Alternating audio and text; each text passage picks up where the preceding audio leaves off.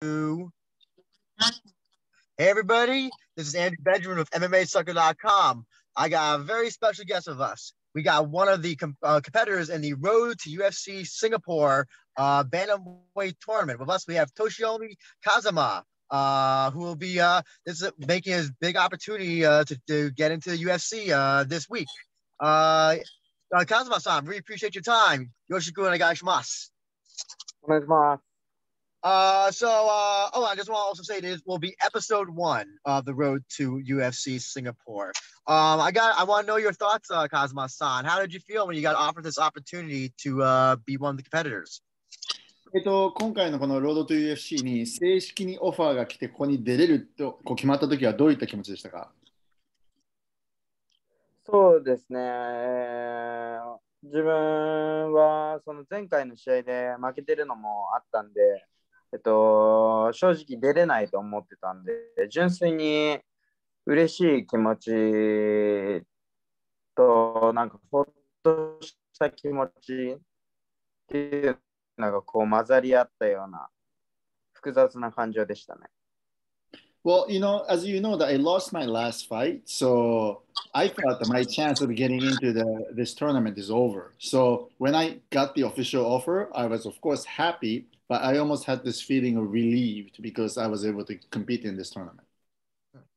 Um, so this also, uh, this being a tournament as well, I'm curious to know. I mean, you're not, you're, you're not unfamiliar with tournaments. You, uh, you did, uh, compete in the Neo Blood tournament in Pancras. So I'm curious to know, do you think, uh, are you, uh, uh, do you think you come in with an advantage, uh, having already competed in a, uh, big tournament like the Neo Blood tournament?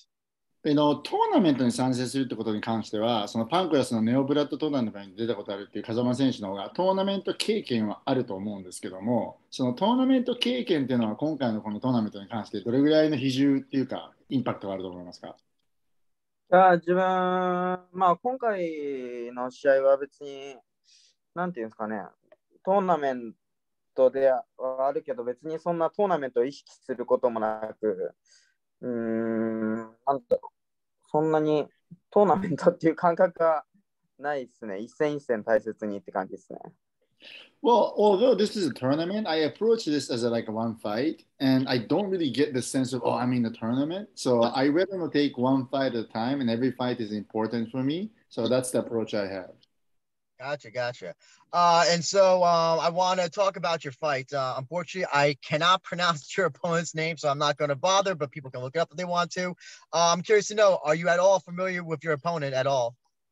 どうですか、えっと、まず相手の印象と相手の多分試合の映像とか見たと思うんですけども、その見た結果、どんな今、印象を持ってますかそうですね、えっと、フィジカルが強い っていうのは、すごく第一印象ではあったんですけど、いや、でも、自分のこのフィニッシュ力とか、この持ち味っていうのを生かしてえ戦えば全然問題ないかなと思ってます。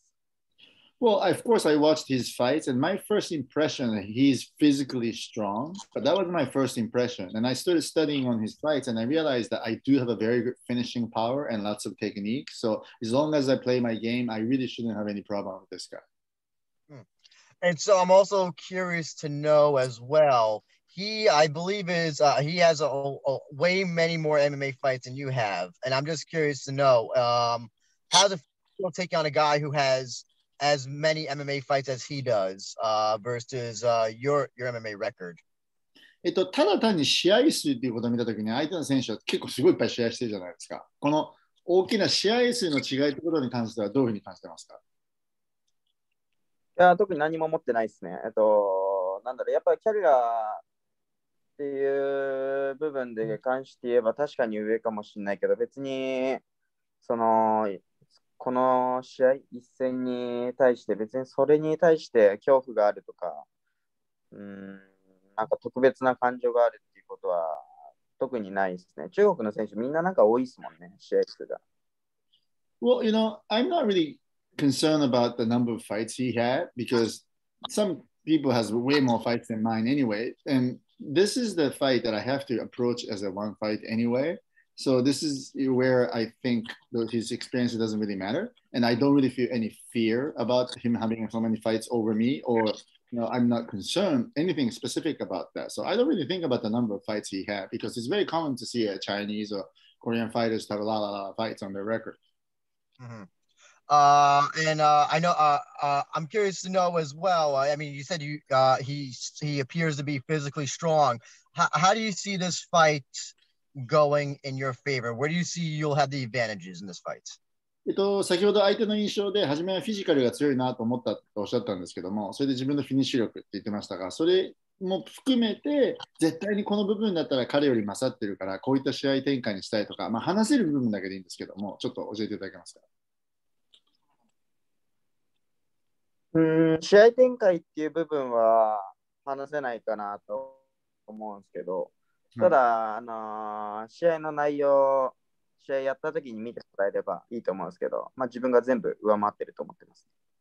Well, you know, of course, I can't reveal how this fight's going to be because that's going to be, you know, revealing my game plan. But please watch this fight. And I think I'm better than this guy on every department. That's what I'm looking to prove this online.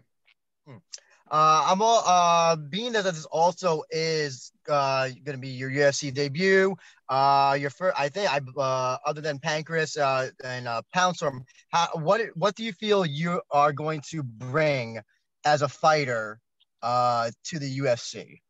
どうですかね、今回初めてこの UFC のオクタゴンという場で試合をするんですけども、そのフィニッシュ力だとか、それ以上に何か風間さんのここがちょっと他のとか違うんだぞみたいなものをこう UFC を見てるファンにこう出せるものがあるとしたら、どんなものだと思いますか？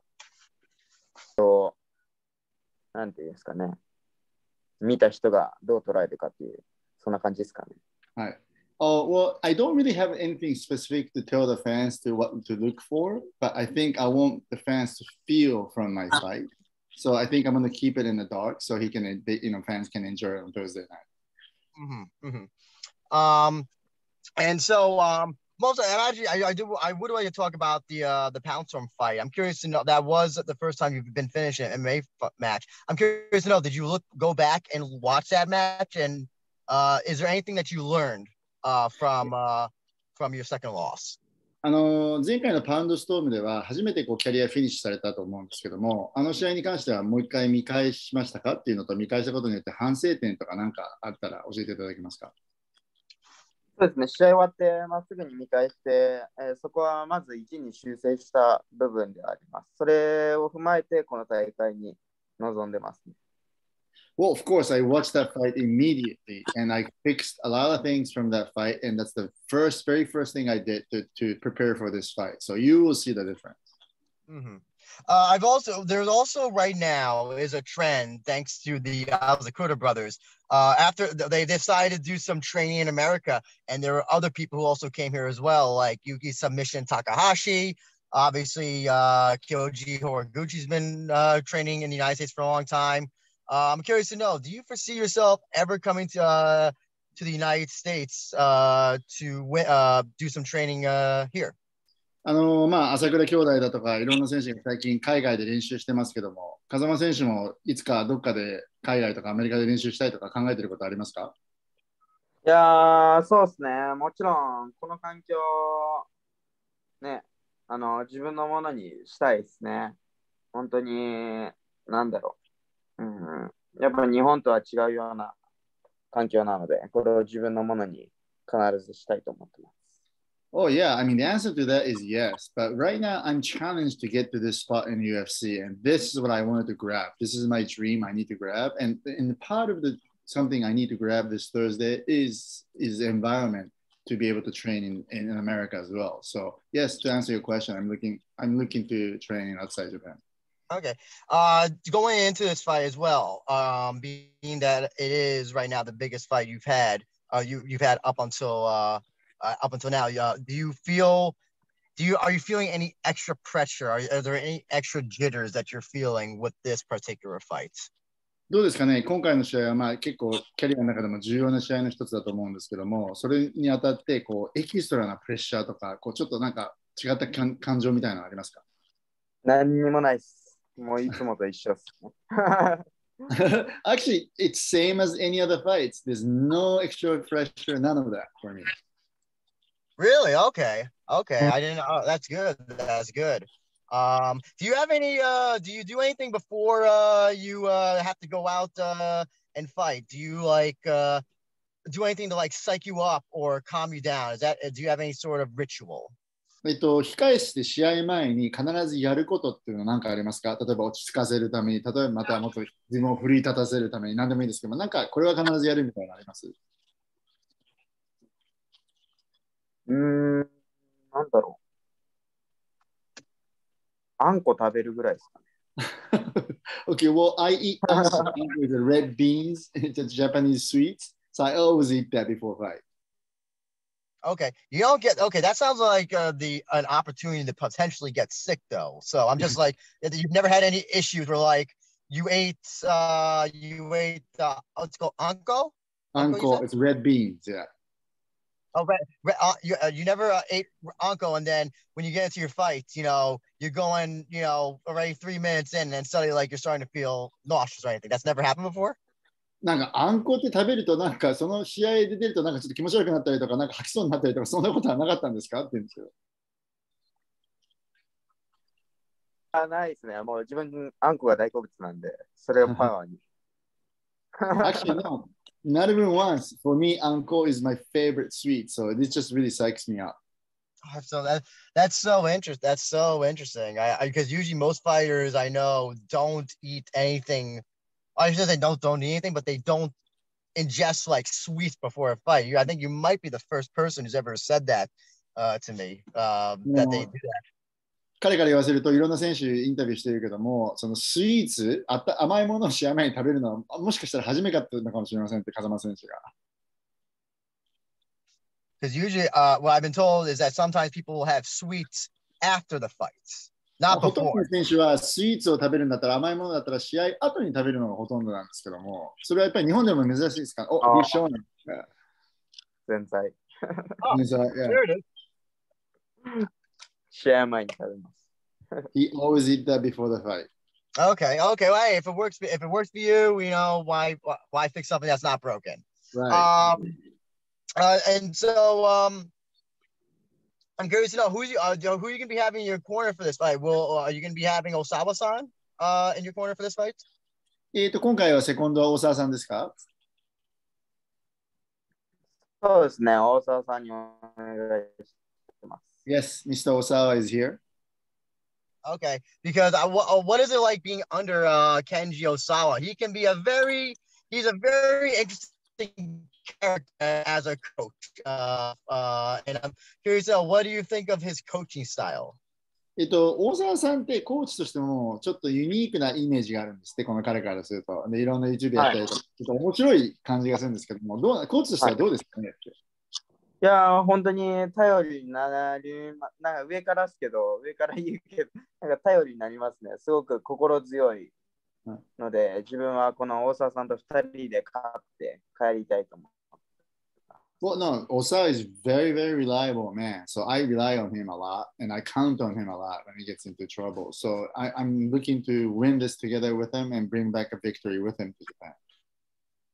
Mhm, mhm. Yeah, because whenever I watch videos of him, even when sometimes players win, uh, win, he can be very harsh to them. He Mhm. can have very harsh words them, even in victory. あのまあ大沢さんというとか彼の印象だと解説とか例えば YouTube で一応勝ってる選手に対してもすごい厳しい言葉を投げてるような気がするんですけどどうですかねそうですね。まあ、勝っても負けても、この反省は言ってくださるので、自分の中ですごく経験になりますね。Well, yeah, it's correct. He does criticize even though I win fights. Win or lose, he always bring up a points for me to fix. So I think that's a very great coach. Actually, and speaking of YouTube, um, have you created a YouTube channel yet, Kazuma-san? I don't think if you have, I haven't been able to find it. But uh, is that something you plan to do? Uh, just like uh, almost every other fighter in Japan is doing. あの日本の選手はなんかみんな YouTube やってるのが多いですけども、風間選手は YouTube やる予定はありますかって。 YouTube 自分には向いてないです。YouTube is not for me.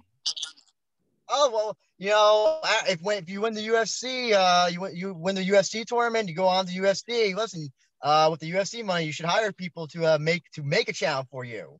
That's what you まああ do. の今回のトーナメントで優勝したら、そのお金を少し使って制作スタッフかなんか雇ってかっこいい映像作れるんじゃないですかってますけど。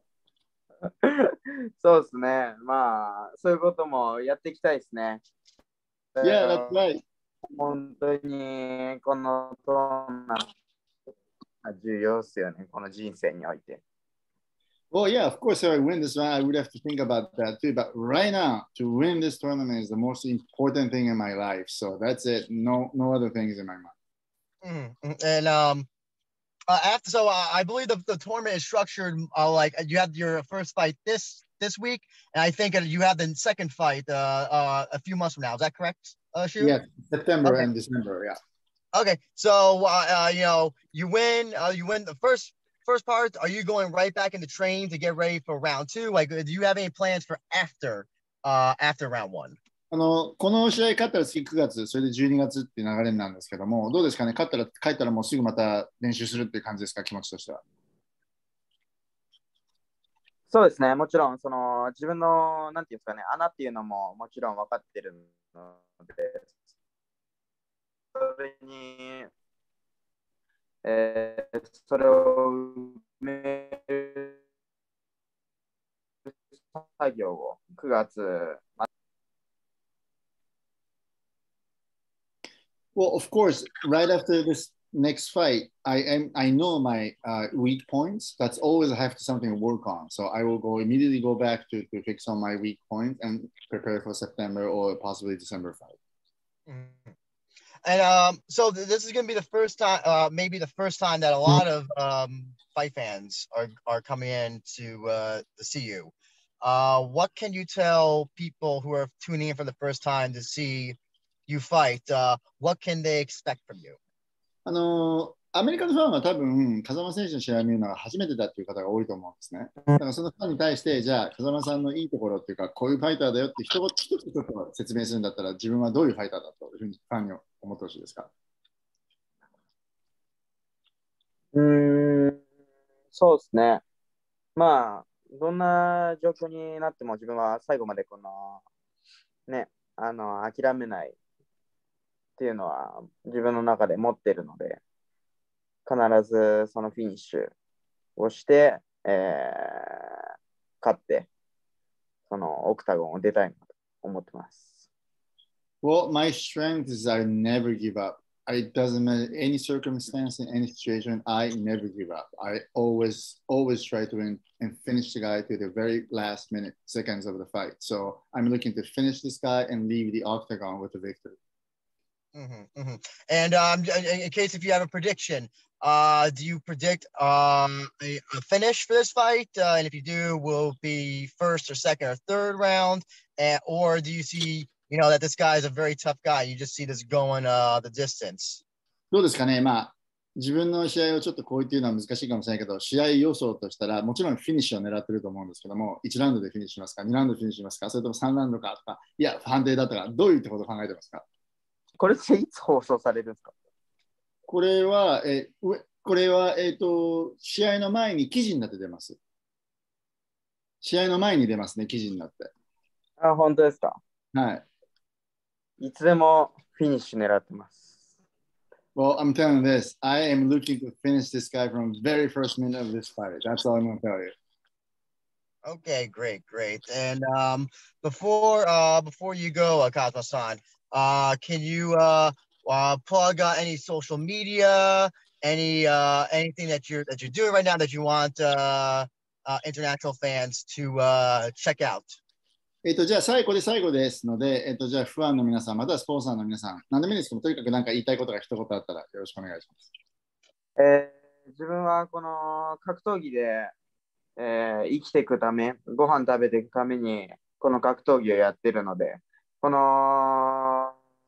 なんだろう、この機会、まずは6月、一コマ進めて、えー次の9月に向けて、えーどんどん勝ち進んで、自分の格闘技人生、その人生の中で、この格闘技を通じて稼いでいくっていうことを目標に、えー達成させていきたいと思っているので、えーぜひ応援よろしくお願いします。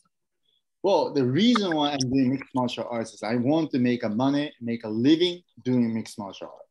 And this is the opportunity for me to get to that level. So for now, I'm stepping in there to try to win this on June and going to tournament. And this is life-changing opportunity for me. So I'm looking to change my life and get to the, the, the place where I can make a living from just fighting. So please support me. Actually, I'm sorry. I do have one question, uh, and I know because you're a Brazilian Jiu-Jitsu, uh, uh, you're one of the best in Brazilian Jiu-Jitsu in Japan. I want to get your thoughts on the new move that everybody's doing now in in grappling, the buggy choke. What are your thoughts on the buggy choke uh, submission? あのちょっと最後に一つ質問なんですけども、まあ、BJJ の選手としてトップのグラップラーのか風間選手に聞きたいんですが、今こう、バギーチョークがすごく流行ってるじゃないですか。で、みんなバギーチョークやってますけども、それって風間選手からしたらどういう印象ですかね？なんだろう。印象。印象。うん使いやすいとか使うとか興味ないとかああ。いや、使えると思ってますよ。なんかこう、ざっくりとした形しか、これ、これだっていうのはわかんないですけど、ざっくりとした形しかわかんないけど、いや、全然使えると思います。Well, I don't really know the full technique behind the buggy choke, but I think it's it's a very effective move that I can use in the mixed martial arts. Okay, great, great.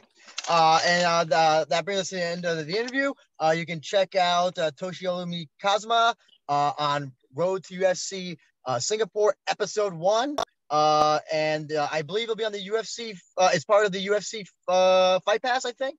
Yeah, in states, yes. Yes, yes, uh, it'll be part of the UFC Fight pa- uh, Pass, uh, which everybody knows how to uh, subscribe to that by now. And uh, yeah, uh, Cosmo-san, really looking forward to seeing UFC. Uh, glad to see you on the on, on a bigger stage, uh, going from Pancras uh, to this, and uh, I'm really looking forward to uh, what you bring uh, to the cage and to the octagon, uh, sir. Uh, Gambari des. 頑張ってくださいということで期待してます。ありがとうございます。はい。 Thank Thank you very you. much.